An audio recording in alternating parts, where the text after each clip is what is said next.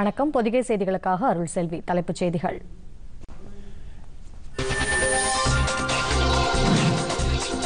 Covid 19 எதிரான போரில் ஒவ்வொரு நாளும் முக்கியத்துவம் வாய்ந்தது. மக்கள் சுய ஒழுங்குடன் செயல்பட வேண்டும். பிரதமர் நரேந்திர மோடி.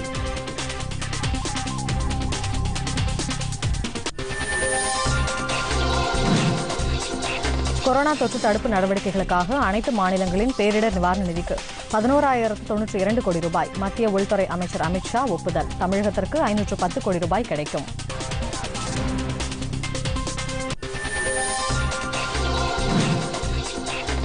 இந்தியாவில் கொரோனா தொற்றால் பாதிக்கப்பட்டோர் எண்ணிக்கை இரண்டாயிரத்து ஐநூற்று நாற்பத்தி ஏழாக அதிகரிப்பு.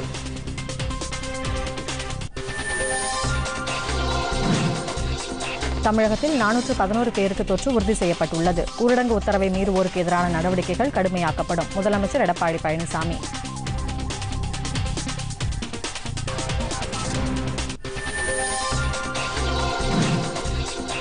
தமிழகத்தில் அனைத்து குடும்ப அட்டைதாரர்களுக்கும் பத்து நாட்களுக்குள் நிவாரண உதவிகள் வழங்கப்படும். உணவுத்துறை அமைச்சர் காமராஜ்.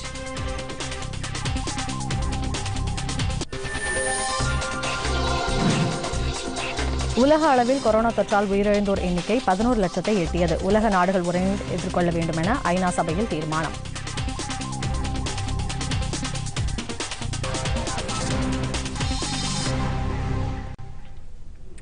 கோவிட் 19 தொற்றுக்கு எதிரான போரில் ஒவ்வொரு நாளும் முக்கியத்துவம் வாய்ந்தது என்பதால் மக்கள் சுய ஒழுங்குடன் செயல்பட வேண்டும் என்று பிரதமர் நரேந்திர மோடி கேட்டுக் கொண்டுள்ளார். ட்விட்டரில் மக்களுக்கு பதிலளித்துள்ள பிரதமர் மோடி ஒவ்வொரு நாளும் மக்கள் ஒன்றிணைந்து சுய ஒழுக்கத்துடனும் சரியான முன்னெச்சரிக்கைகளுடனும் செயல்பட வேண்டியது அவசியம் என்று குறிப்பிட்டுள்ளார். அமைதி மகிழ்ச்சி இரக்கம் போன்றவை இந்த நேரத்தில் மிகவும் மதிப்புமிக்கதாகும் என்றும் ஞாயிற்றுக்கிழமை மக்கள் மேற்கொள்ளவிருக்கும் ஒளியேற்றுதல் நிகழ்வு நமது வலிமையை மேலும் அதிகரிக்கும் என்றும் பிரதமர் தமது செய்தியில் தெரிவித்துள்ளார். இந்த கொடுமையான தொற்றுக்கு எதிரான போரில் அனைவரும் ஒற்றுமையுடனும் இருப்பதே வலிமையை உருவாக்கும் என்றும் பிரதமர் கூறியுள்ளார். இந்த நெருக்கடியான காலகட்டத்தில் எளிமையான ஒன்றிணைவு அனைத்து தரப்பினரிடையும் நம்பிக்கையை ஏற்படுத்தி தொற்றுக்கு எதிராக தீர்வு காண்பதற்கு உதவும் என்றும் பிரதமர் கூறியுள்ளார்.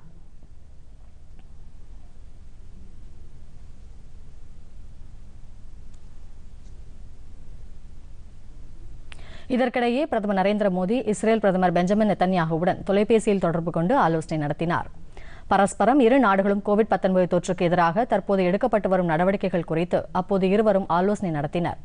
இந்தியாவும் இஸ்ரேலும் இணைந்து மருந்து பொருட்கள் வழங்குதல் உயர் தொழில்நுட்ப உதவியுடன் புதிய நடவடிக்கைகளை எடுப்பது உள்ளிட்ட இந்த தொற்று நோய்க்கு எதிரான நடவடிக்கைகள் குறித்து விரிவாக ஆலோசனை நடத்தினர். இத்தகைய நடைமுறைகளை வகுப்பது குறித்து தகவல்களை பரிமாறிக்கொள்வதற்கும் அவர்கள் சம்மதம் தெரிவித்தனர். நவீன உலகில் கோவிட் 19 தொற்று மிக முக்கியமான சூழலை ஏற்படுத்தியிருப்பதாக இஸ்ரேல் பிரதமர் பிரதமர் மோடியிடம் தெரிவித்தார். மனதபிமான நலன்களை குறித்தும் இந்த நோய் தொற்றுக்கு எதிரான உலகளாவிய பார்வை குறித்தும் இணைந்து செயல்படுவதற்கான வாய்ப்புகளை அப்போது பிரதமரிடம் அவர் எடுத்துக் கூறினார். கொரோனா வைரஸை கட்டுப்படுத்த ஐந்து அம்ச தாரக மந்திரத்தை செயல்படுத்த வேண்டுமென விளையாட்டு வீரர்களிடம் நரேந்திர மோடி வலியுறுத்தியுள்ளார். நாட்டிற்கு பெருமை சேர்த்த விளையாட்டுத் துறையினர் நாட்டு மக்களிடம் மன வலிமையை ஊக்குவித்து நல்லெண்ணத்தை பரப்புவதில் முக்கிய பங்கு வகிக்க வேண்டும் எனவும் அவர் கேட்டுக் கொண்டுள்ளார். கொரோனா தடுப்பு பணி குறித்து அனைத்து மாநில முதலமைச்சர்கள் தொழில்துறையினர் சமுதாய தலைவர்கள் ஊடகவியலாளர்கள் உள்ளிட்ட பல்வேறு தரப்பினரிடம் தொடர்ந்து ஆலோசனை நடத்தி வரும் பிரதமர். சர்வதேச அரங்கில் இந்தியாவிற்கு பெருமை தேடித்தந்த விளையாட்டுத் துறையினருடன் காணொலி காட்சி மூலம் நேற்று கலந்துரையாடினார். இந்திய கிரிக்கெட் கட்டுப்பாட்டு வாரியத்தின் தலைவர் சௌரவ் கங்குலி சச்சின் டெண்டுல்கர் மகேந்திர சிங் தோனி வீரேந்திர ஷேவாக் இந்திய கிரிக்கெட் அணியின் தலைவர் விராட் கோலி பேட்மிண்டன் வீராங்கனை பி வி சிந்து ஹாக்கி வீராங்கனை ராணி ராம்பால் தடகள வீராங்கனை ஹிமா தாஸ் குத்துச்சண்டை வீராங்கனை மேரிகோம் அமித் பாங்கல் வினேஷ் போகட் பழுதூக்கும் வீராங்கனை மீராபாய் சானு துப்பாக்கிச் சுடும் வீரர் ககன் நரங் மனு பாக்கர் கபடி வீரர் அஜய் தாக்கூர் மற்றும் சாய் பிரணீத் உட்பட நாற்பத்தி ஒன்பது வீரர் வீராங்கனைகள் இந்த கலந்துரையாடலில் பங்கேற்றனர். மத்திய விளையாட்டுத்துறை அமைச்சர் கிரண் ரிஜிஜுவும் உடனிருந்தார். அப்போது பேசிய பிரதமர் நரேந்திர மோடி இந்தியாவில் உள்ள ஒட்டுமொத்த மக்களும் ஓரணியாக திரண்டு கொரோனா தொற்று பரவுவதை முறியடிக்க வேண்டும் என்று கேட்டுக்கொண்டார். தீர்மானம் மிதவாதம் பரந்த மனப்பான்மை மரியாதை மற்றும் ஒத்துழைப்பு ஆகிய ஐந்து தாரக மந்திரங்களை கடைபிடித்து கொரோனா தொற்று பரவுவதை முறியடிக்க வேண்டும் என்றும் பிரதமர் குறிப்பிட்டார். மேலும் ஊரடங்கை முழுமையாக கடைபிடிக்கும்படி மக்களிடம் வலியுறுத்த வேண்டும் எனவும் அவர் அவர்களை கேட்டுக்கொண்டார். இது தொடர்பான வீடியோக்களை பதிவேற்றம் செய்யுமாறும் விளையாட்டுத் துறையினரிடம் பிரதமர் தெரிவித்தார்.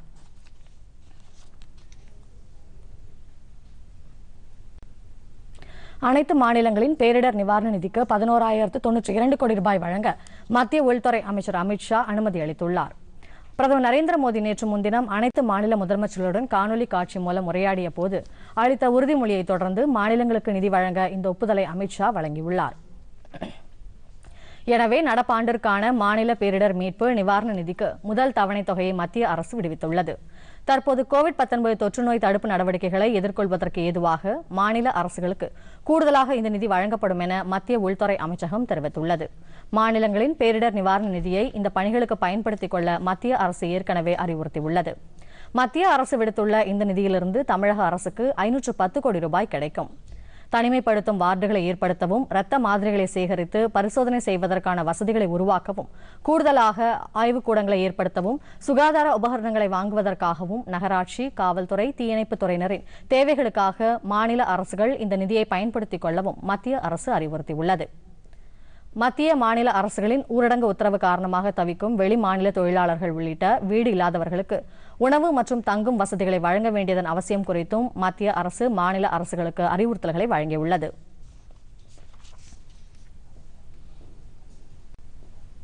கொரோனா வைரஸ் தொற்றை முறியடிப்பதற்கான தீர்வு காணும் நடவடிக்கையாக ஆன்லைன் ஹேக்கத்தான் என்ற மென்பொருளை மத்திய மனிதவள மேம்பாட்டு மற்றும் தகவல் தொழில்நுட்பத்துறை இணையமைச்சர் சஞ்சய் தோத்ரே தொடங்கி வைத்தார். உலக அளவில் இந்த தொற்றை எதிர்கொண்டு முறியடிப்பதற்கு மேற்கொள்ளப்படும் முயற்சிகளின் ஒரு பகுதியாக இந்த ஆன்லைன் மென்பொருள் வெளியிடப்பட்டுள்ளது.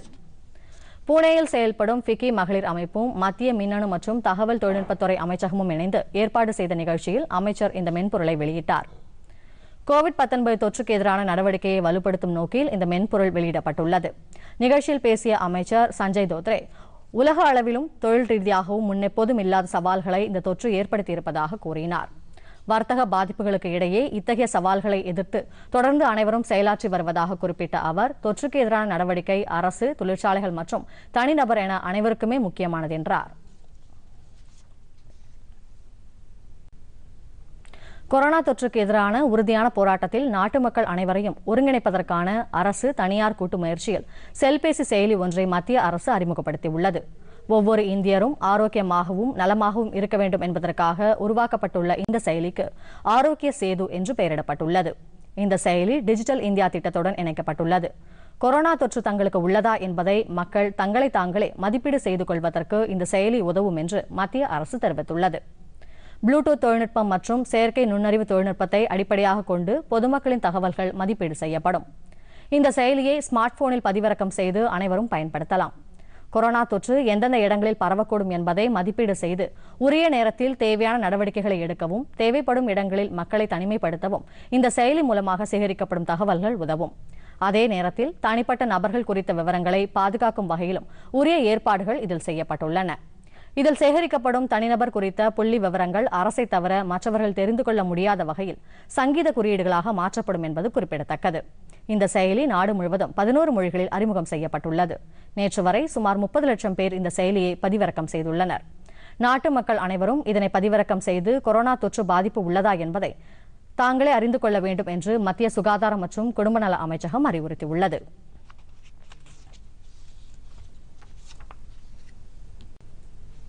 நாடு முழுவதும் கொரோனா தொற்றால் பாதிக்கப்பட்டோர் எண்ணிக்கை இரண்டாயிரத்து ஐநூற்று நாற்பத்தி ஏழாக அதிகரித்துள்ளது. நூற்று அறுபத்தி மூன்று பேர் குணமடைந்து வீடு திரும்பியிருப்பதாக மத்திய சுகாதாரம் மற்றும் குடும்ப நலத்துறை அமைச்சகம் தெரிவித்துள்ளது. இந்தியாவில் இதுவரை அறுபத்தி இரண்டு பேர் இந்த தொற்றால் உயிரிழந்துள்ளனர். தமிழகத்தில் அதிகபட்சமாக நானூற்று பதினோரு பேர் இந்த தொற்றால் பாதிக்கப்பட்டுள்ளனர். மகாராஷ்டிரா மாநிலத்தில் முன்னூற்று முப்பத்தி ஐந்து பேருக்கு கொரோனா தொற்று உறுதி செய்யப்பட்டுள்ளது.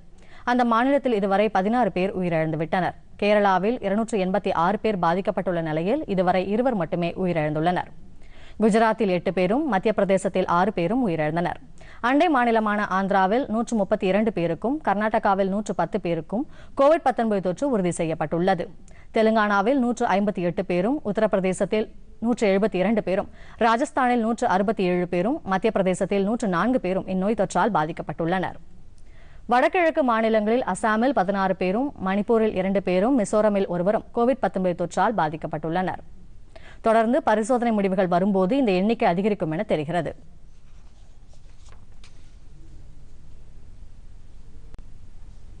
கோவிட் 19 தொற்றை எதிர்கொள்ள தயார் நிலையில் இருப்பதாக ரயில்வே அமைச்சகம் தெரிவித்துள்ளது. கோவிட் 19 வைரஸ் தடுப்புக்காக இதுவரை மேற்கொள்ளப்பட்டுள்ள நடவடிக்கைகள் குறித்து ரயில்வே அமைச்சகம் அறிக்கை வெளியிட்டுள்ளது.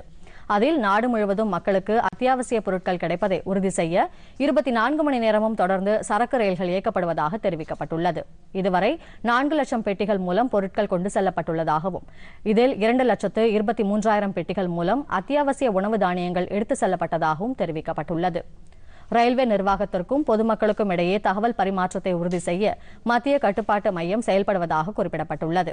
தனிமைப்படுத்துவதற்காக எட்டாயிரம் படுக்கைகளுடன் ஐந்தாயிரம் ரயில் பெட்டிகளை இந்தியா ரயில்வே மாற்றியமைத்துள்ளதாகவும் தேவைப்பட்டால் நூறு லட்சத்து இருபதாயிரம் படுக்கைகளுடன் இருபதாயிரம் ரயில் பெட்டிகளை மாற்றியமைக்க தயார் நிலையில் இருப்பதாகவும் ரயில்வே அமைச்சகம் தெரிவித்துள்ளது. உணவு தேவைப்படும் இரண்டு லட்சத்து இருபத்தி ஐந்தாயிரம் பேருக்கு இதுவரை நாடு முழுவதும் உணவு விநியோகிக்கப்பட்டுள்ளதாக ரயில்வே விளக்கம் அளித்துள்ளது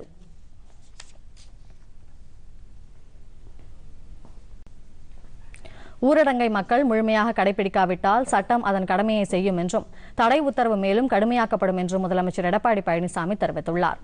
சென்னையில் வெவ்வேறு இடங்களில் தங்க வைக்கப்பட்டுள்ள புலம்பெயர்ந்த தொழிலாளர்களுக்கு உணவு மற்றும் அத்தியாவசிய பொருட்களை வழங்கிய பின்னர் செய்தியாளர்களிடம் பேசினார். தமிழகத்தில் ஒரு லட்சத்து முப்பதாயிரத்திற்கும் மேற்பட்ட வெளி மாநில தொழிலாளர்கள் பணியாற்றுவதாக முதலமைச்சர் எடப்பாடி பழனிசாமி கூறினார். இவர்களுக்கு தேவையான வசதிகள் செய்து தரப்பட்டிருப்பதாகவும் அவர் குறிப்பிட்டார். கொரோனா வைரஸ் பரவாமல் தடுக்க மக்கள் முழு ஒத்துழைப்பு அளிக்க வேண்டும் என்று வலியுறுத்திய முதலமைச்சர் மக்களின் பாதுகாப்பு கருதியே நூற்று நாற்பத்தி நான்கு தடை உத்தரவு பிறப்பிக்கப்பட்டுள்ளதாகவும் இதனை மீறி வெளியே சுற்றுவது அதிகரித்தால் தடை உத்தரவை மேலும் கடுமையாக்க நேரிடும் என்றார். அத்தியாவசிய தேவையின்றி வெளியே வருவோர் மீது சட்டப்படி நடவடிக்கை எடுக்கப்படும் என்றும் அவர் எச்சரித்தார். அரிசி குடும்ப அட்டைதாரர்களுக்கான கொரோனா நிவாரணத் தொகை டோக்கன் வழங்கப்படும் போதே வழங்கப்பட்டுவிடும் என்றும் அவர் தெரிவித்தார். இலவச ரேஷன் பொருட்கள் இந்த மாத இறுதி வரை வழங்கப்படும் என்றும் முதலமைச்சர் தெரிவித்தார்.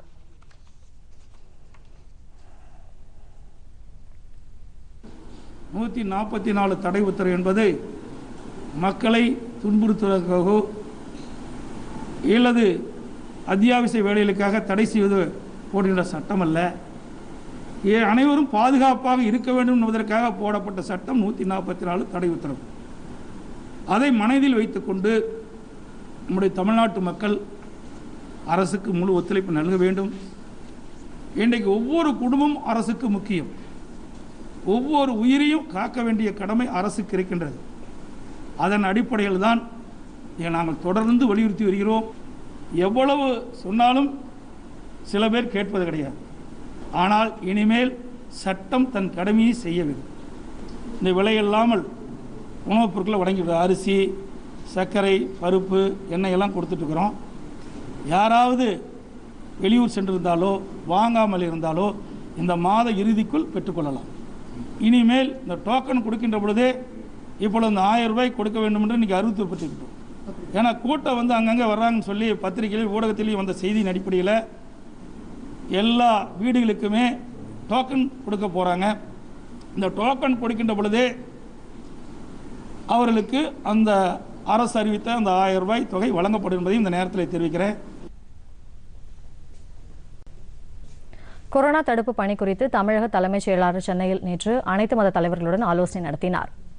தலைமைச் செயலகத்தில் நடைபெற்ற இந்த ஆலோசனையில் உள்துறை கூடுதல் தலைமைச் செயலாளர் எஸ் கே பிரபாகர் வருவாய்த்துறை செயலாளர் அதுல்ய மிஸ்ரா காவல்துறை தலைமை இயக்குநர் ஜே கே திரிபாதி பொதுத்துறை முதன்மைச் செயலாளர் செந்தில்குமார் மக்கள் நல்வாழ்வுத்துறை செயலாளர் பீலா ராஜேஷ் சிறப்பு செயலாளர் மைத்திலி ராஜேந்திரன் சென்னை மாநகர காவல் ஆணையர் ஏ கே விஸ்வநாதன் உள்ளிட்ட அதிகாரிகள் கலந்து கொண்டனா் இந்து இஸ்லாம் கிறிஸ்தவம் பௌத்தம் ஜைன மத தலைவர்கள் பங்கேற்ற இந்த கூட்டத்தில் கொரோனா தொற்று கட்டுப்படுத்தப்படும் வரை மக்கள் பெருமளவில் கூடக்கூடிய விதமாக மதம் சார்ந்த விழாக்கள் மற்றும் நிகழ்ச்சிகளை நடத்த வேண்டாம் என மத தலைவர்களிடம் அரசு சார்பில் அப்போது வேண்டுகோள் விடுக்கப்பட்டதாக தெரிகிறது.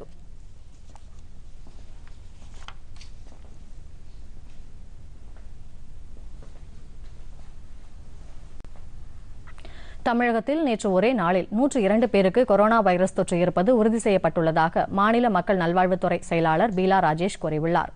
சென்னையில் செய்தியாளர்களிடம் பேசிய அவர் இதையடுத்து இந்த தொற்று உறுதி செய்யப்பட்டவர்களின் எண்ணிக்கை நானூற்று பதினொன்றாக அதிகரித்துள்ளது என்றார். இதுவரை மொத்தம் மூவாயிரத்து அறுநூற்று எண்பத்தி நான்கு பேரின் இரத்த மாதிரிகள் பரிசோதிக்கப்பட்டுள்ளதாக அவர் கூறியுள்ளார். அவர்களில் இரண்டாயிரத்து எழுநூற்று எண்பத்தி ஒன்பது பேருக்கு கொரோனா தொற்று இல்லை என தெரியவந்துள்ளதாக அவர் தெரிவித்தார். நானூற்று பதினோரு பேருக்கு தொற்று உறுதி செய்யப்பட்ட நிலையில் அவர்களில் ஏழு பேர் முழு உடல்நலன் பெற்று வீடு திரும்பியுள்ளதாகவும் அவர் கூறினார். மேலும் நானூற்று எண்பத்தி நான்கு பேரின் இரத்த மாதிரிகள் பரிசோதனைக்காக அனுப்பப்பட்டுள்ளதாகவும் முடிவுகள் இன்னும் வரவில்லை என்றும் அவர் தெரிவித்தார். தொற்று உறுதி செய்யப்பட்ட நானூற்று பதினோரு பேரில் முன்னூற்று அறுபத்தி மூன்று பேர் தில்லி மாநாட்டில் பங்கேற்றவர்கள் என்றும் அவர் குறிப்பிட்டார். தில்லியில் மாநாட்டுக்கு சென்று திரும்பியவர்களில் முன்னூற்று மூன்று பேருக்கு தொற்று இல்லை என்று உறுதி செய்யப்பட்டுள்ளதாகவும் பீலா ராஜேஷ் தெரிவித்தார். கொரோனா தொற்றால் தமிழகத்தில் ஒருவர் மட்டுமே உயிரிழந்திருப்பதாகவும் பாதிக்கப்பட்ட மற்ற அனைவரும் குணமடைந்து வருவதாகவும் அவர் கூறினார். முதியோர் மற்றும் சர்க்கரை நோயாளிகள் கூடுதல் கவனத்துடன் இருக்க வேண்டும் என்றும் அவர் கேட்டுக்கொண்டார் கொரோனா தொற்றால் பாதிக்கப்பட்டவர்களுக்கு அரசு மருத்துவமனைகளில் இலவசமாக சிகிச்சை வழங்கப்படுகிறது என்று கூறிய அவர் தனியார் மருத்துவமனைகளில் சிகிச்சை பெற விரும்பினால் அரசு அனுமதித்துள்ள மருத்துவமனைகளில் சிகிச்சை பெறலாம் என்றும் பீலா ராஜேஷ் தெரிவித்தார்.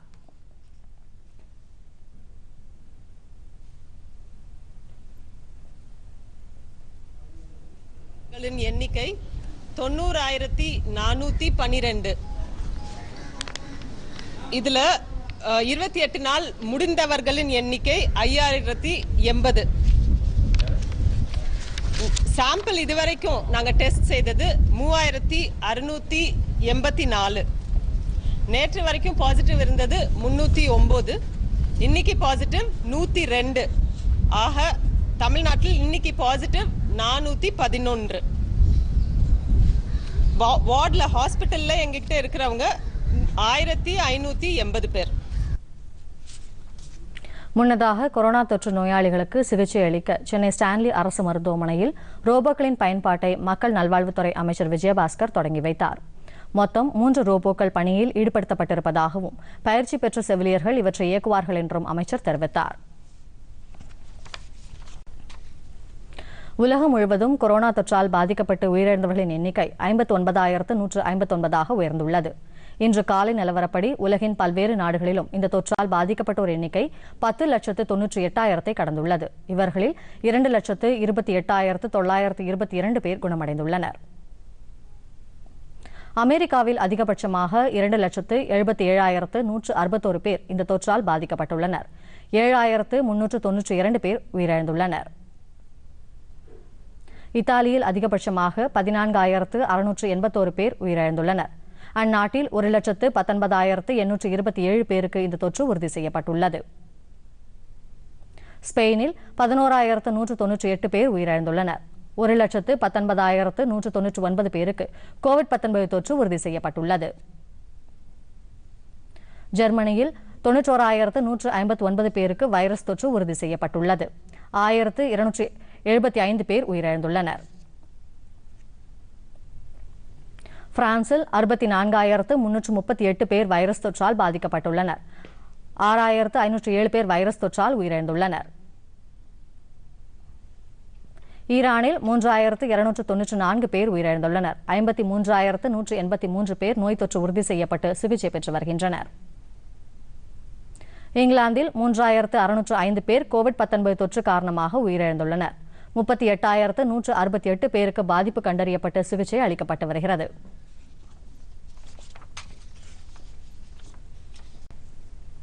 தமிழகத்தில் கொரோனா தொற்று தடுப்பு நடவடிக்கைகள் சிறப்பாக மேற்கொள்ளப்பட்டு வரும் நிலையில் தற்போதைய சூழலை கருத்தில் கொண்டு அனைத்து மாவட்டங்களிலும் முதியோர் உதவித்தொகை வரும் பதினைந்தாம் தேதி வரை வழங்கப்படும் என்று மாநில வருவாய் மற்றும் பேரிடர் மீட்புத்துறை அமைச்சர் ஆர் பி உதயகுமார் கூறியிருக்கிறார். சென்னை ஏழகத்தில் நேற்று செய்தியாளர்களிடம் பேசிய அவர் முதியோர் உதவித்தொகை பெறுவோரில் முப்பத்தி இரண்டு லட்சத்து ஐம்பதாயிரம் பேருக்கு அவர்களின் வீடுகளுக்கே சென்று உதவித்தொகையை வழங்க மாவட்ட ஆட்சியர்களுக்கு அறிவுறுத்தப்பட்டுள்ளது என்றார். இது தொடர்பாக சம்பந்தப்பட்ட வட்டாட்சியர் மற்றும் வங்கி அதிகாரிகளுக்கு அறிவுரை வழங்கப்பட்டுள்ளதாகவும் அவர் கூறினார். வீடுகளுக்கே சென்று முதியோர் உதவித்தொகை வழங்கும் பணிகள் ஏற்கனவே தொடங்கப்பட்டிருப்பதாகவும் அமைச்சர் குறிப்பிட்டார். இம்மாதம் ஐந்தாம் தேதிக்கு முன்பாக வங்கி கணக்கில் முதியோர் உதவித்தொகை வரவு வைக்கப்பட்டு பதினைந்தாம் தேதி வரை வழங்கப்படும் என்றும் அவர் தெரிவித்தார்.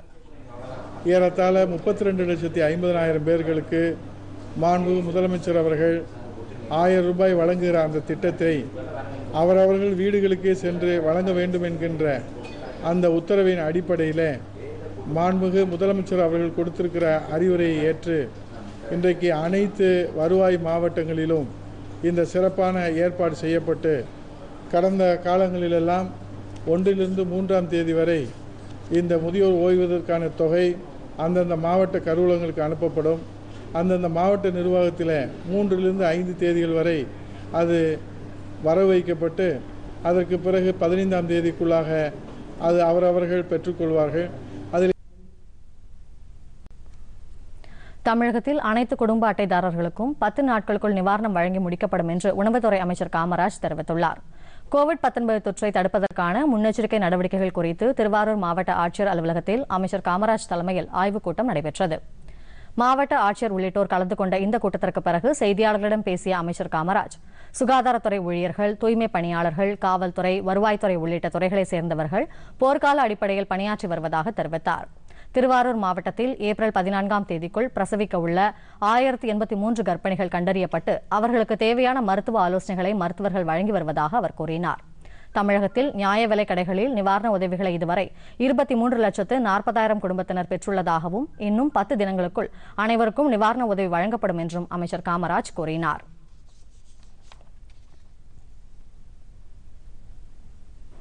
மாநிலம் முழுவதும் ரேஷன் அட்டைதாரர்களுக்கு நேற்றைய தினம் ஒரு நாள் மட்டும் இருபத்தி மூணு லட்சத்தி நாற்பதனாயிரத்தி எழுநூற்றி எழுபத்தி எட்டு பேருக்கு ஆயிரம் ரூபாய் பணம் அரிசி சர்க்கரை கோதுமை அரிசி சர்க்கரை கோதுமை விற்ப விற்பப்பட்டுள்ள கோதுமை அதே போல் ஆயில் துரம் பருப்பு இவைகளெல்லாம் வழங்கப்பட்டிருக்கிறது. அது வந்து பதினொன்று புள்ளி ஆறு மூணு சதவீதம் நேற்றைக்கு மட்டும் வழங்கப்பட்டது. பதினொன்று புள்ளி ஆறு மூணு சதவீதம். அதாவது பத்து நாளைக்குள்ளாக முடித்துவிட வேண்டும் என்கிற மாண்புமிகு முதலமைச்சர் அவர்களுடைய உத்தரவு.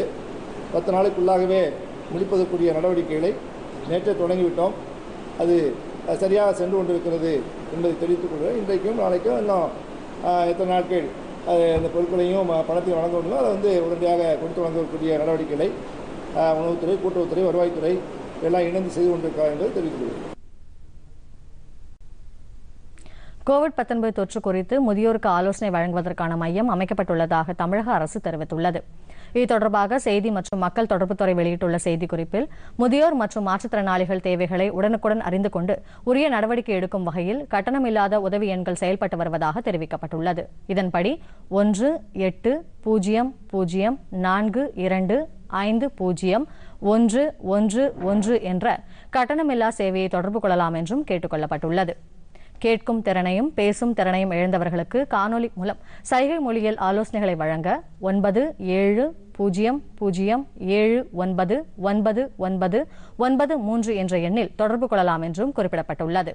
இதேபோல் முதியோருக்கு ஆலோசனை வழங்க காலை பத்து மணி முதல் மாலை ஐந்து மணி வரை ஆலோசனை மையம் செயல்படும் என்றும் இதனை பூஜ்ஜியம் நான்கு நான்கு இரண்டு எட்டு ஐந்து ஒன்பது பூஜ்ஜியம் எட்டு பூஜ்ஜியம் நான்கு மற்றும் பூஜ்ஜியம் நான்கு நான்கு இரண்டு எட்டு ஐந்து ஒன்பது ஒன்பது ஒன்று எட்டு எட்டு என்ற எண்களில் தொடர்பு கொள்ளலாம் என்றும் தமிழக அரசு தெரிவித்துள்ளது. தமிழகத்தில் அமைப்பு சாரா தொழிலாளர்கள் மற்றும் புலம்பெயர்ந்த தொழிலாளர்களுக்கான ரேஷன் பொருட்களை ரேஷன் கடைகள் மூலம் விநியோகிக்குமாறு தமிழக அரசுக்கு சென்னை உயர்நீதிமன்றம் உத்தரவிட்டுள்ளது. தமிழகத்தில் குடும்ப அட்டைகள் இல்லாத அமைப்பு சாரா தொழிலாளர்கள் கட்டுமான தொழிலாளர்கள் தினக்கூலிகள் மற்றும் வெளி மாநில தொழிலாளர்களுக்கு அடையாள அட்டைகளின் அடிப்படையில் உணவு தானியங்களை விநியோகிக்க உத்தரவிடக் கோரி சென்னை உயர்நீதிமன்றத்தில் மனு தாக்கல் செய்யப்பட்டது. இதனை நீதிபதிகள் வினித் கோத்தாரி மற்றும் சுரேஷ்குமார் அமர்வு விசாரித்தது. அப்போது தமிழக அரசு சார்பில் ஆஜரான வழக்கறிஞர் அமைப்பு சாரா தொழிலாளர்களுக்கு மாவட்ட ஆட்சியர் அலுவலகங்களின் மூலம் பதினைந்து கிலோ அரிசி ஒரு கிலோ பருப்பு உள்ளிட்டவை வழங்கப்படுவதாக தெரிவித்தார். ஆட்சியர் அலுவலகங்களில் சமூக விலகல் விதிகள் மீறப்பட வாய்ப்பு உள்ளதால் நிவாரணப் பொருட்களை ரேஷன் கடைகள் மூலம் விநியோகிக்க நீதிபதிகள் உத்தரவிட்டனர். இந்நிலையில் தனியார் கல்லூரிகள் மற்றும் மாணவர்கள் விடுதிகளை தற்காலிக மருத்துவமனைகளாகவும் தனிமைப்படுத்துதல் வார்டுகளாகவும் மாற்ற உத்தரவிடக் கோரி மனு தாக்கல் செய்யப்பட்டது. இதுகுறித்து இரண்டு வாரங்களில் பதிலளிக்குமாறு தமிழக அரசுக்கு நீதிபதிகள் உத்தரவிட்டனர். தமிழகத்தில் கோவிட் 19 தொற்று உறுதி செய்யப்பட்டவர்கள் மருத்துவமனைகளில் தனிமைப்படுத்தி தீவிரமாக கண்காணிக்கப்பட்டு வருகின்றனர். கரூர் மாவட்டத்தில் ஏற்கனவே பதினேழு பேருக்கு கோவிட் 19 தொற்று உறுதி செய்யப்பட்ட நிலையில் மேலும் மூன்று பேருக்கு நேற்று தொற்று உறுதி செய்யப்பட்டது. இதையடுத்து பத்தொன்பது பேர் கரூர் அரசு மருத்துவமனையிலும் ஒருவர் திருச்சி அரசு மருத்துவமனையிலும் அனுமதிக்கப்பட்டுள்ளனர். இவர்கள் அனைவரும் தில்லி மாநாட்டில் கலந்து கொண்டவர்கள் என்று அதிகாரிகள் தெரிவித்துள்ளனர்.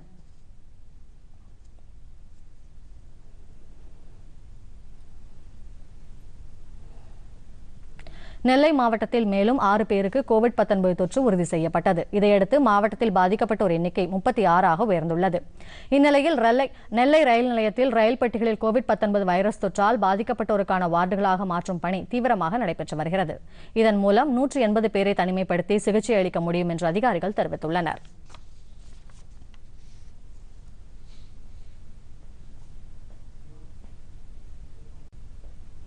கொரோனா தொற்றை முறியடிக்க சர்வதேச நாடுகள் ஒத்துழைப்பை தீவிரப்படுத்த வேண்டும் என்று ஐநா சபையில் ஒருமனதாக தீர்மானம் நிறைவேற்றப்பட்டுள்ளது. உலகம் முழுவதுமே சமூக அரசியல் மற்றும் பொருளாதாரத்தில் பெரிய பாதிப்பை ஏற்படுத்தியுள்ள இந்த தொற்றை எதிர்த்து போரிட நாட்டு மக்களுக்கு இடையே ஒருங்கிணைப்பு தேவை என்று இந்தியா உள்ளிட்ட நூற்று எண்பத்தி எட்டு நாடுகள் தீர்மானத்தை முன்மொழிந்தன.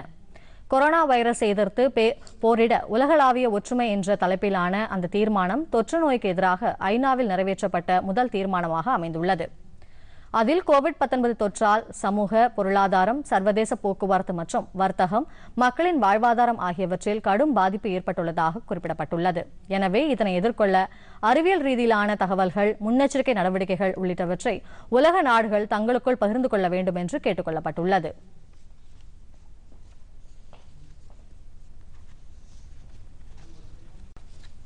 இனி தொடர்வது நாளிதழ்களில் இன்று.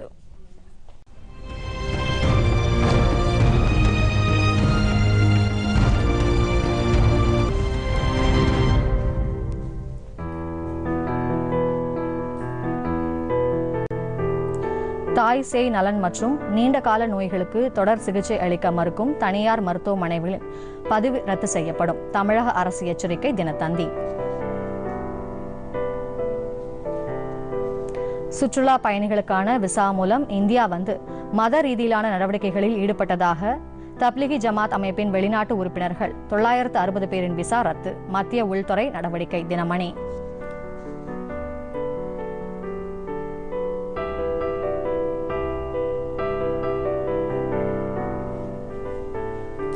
மக்களின் பண தேவைக்கு நடமாடும் ஏடிஎம்களாக தபால்காரர்களை பயன்படுத்திக் கொள்ளலாம். அஞ்சல் துறை அறிவிப்பு தினமலர்.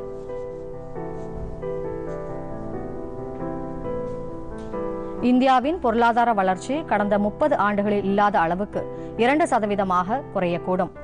பிட்ச் நிறுவனம் கணிப்பு தினகரன்.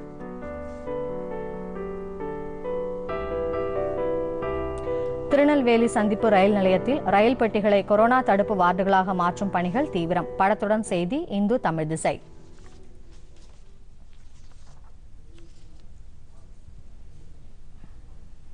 மீண்டும் தலைப்புச் செய்திகள்.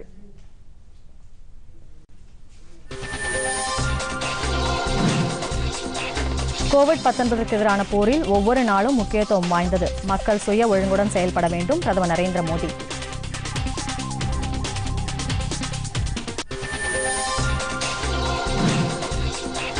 கொரோனா தொற்று தடுப்பு நடவடிக்கைகளுக்காக அனைத்து மாநிலங்களின் பேரிடர் நிவாரண நிதிக்கு பதினோராயிரத்து தொன்னூற்றி இரண்டு கோடி ரூபாய். மத்திய உள்துறை அமைச்சர் அமித்ஷா ஒப்புதல். தமிழகத்திற்கு ஐநூற்று பத்து கோடி ரூபாய் கிடைக்கும்.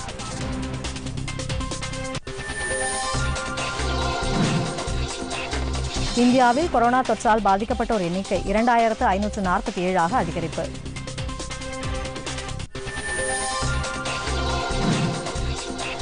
தமிழகத்தில் நானூற்று பதினோரு பேருக்கு தொற்று உறுதி செய்யப்பட்டுள்ளது.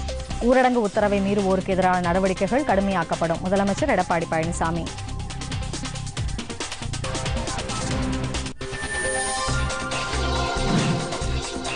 தமிழகத்தில் அனைத்து குடும்ப அட்டைதாரர்களுக்கும் பத்து நாட்களுக்குள் நிவாரண உதவிகள் வழங்கப்படும். உணவுத்துறை அமைச்சர் காமராஜ்.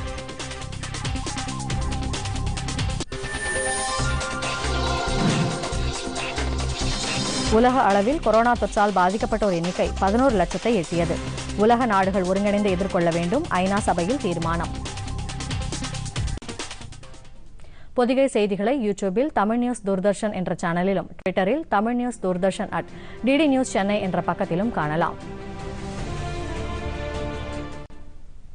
இத்துடன் செய்திகள் நிறைவடைகின்றன. மீண்டும் செய்திகள் காலை பதினோரு மணிக்கு. வணக்கம்.